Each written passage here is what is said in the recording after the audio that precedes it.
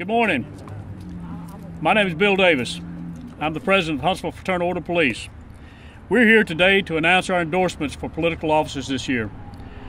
The very first one being that of Tommy Battle for the city of Huntsville. Mayor Battle has made a commitment to maintain a strong public safety for the citizens of Huntsville. He's kept his word to that. He's been true to his word.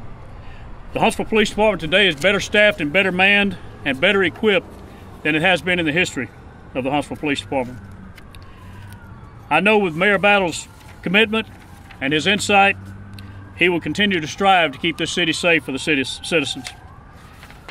The men and women that you see with me here today are many members of my local lodge as well as my executive board.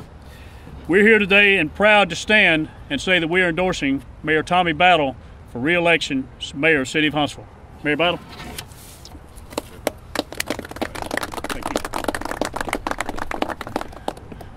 I'm honored. And I'm really honored to have the people who are standing behind me who have chosen to endorse this. You're honored, you're humbled. These are the people who let you sleep well at night, knowing that you're being protected, that your streets are being protected, your property is being secured.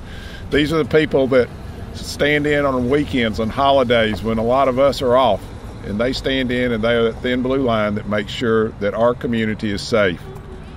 I'm very honored, I'm humbled, and I want to thank them for their support, and we'll promise you four more years of support for them, too. Thank you.